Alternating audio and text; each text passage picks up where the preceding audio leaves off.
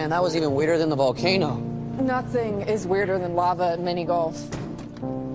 Hey, Carlos, you okay? Yeah, just uh, looking for TK. Medical's pulling in now. Thanks.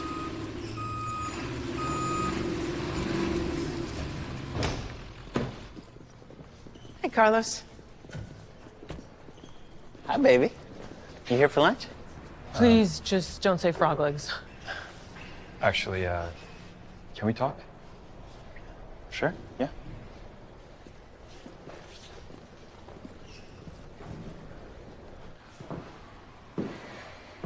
You're pissed. No.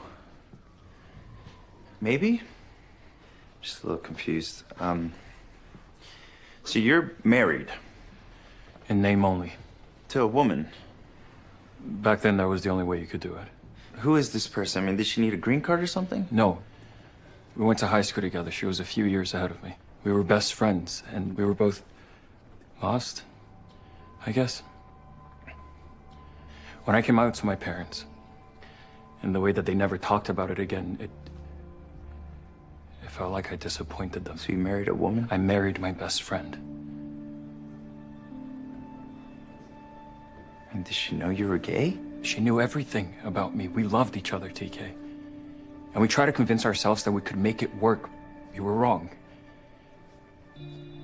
But you never got a divorce? We meant to, but things happened. Well, you need to get a divorce, Carlos. I'm aware.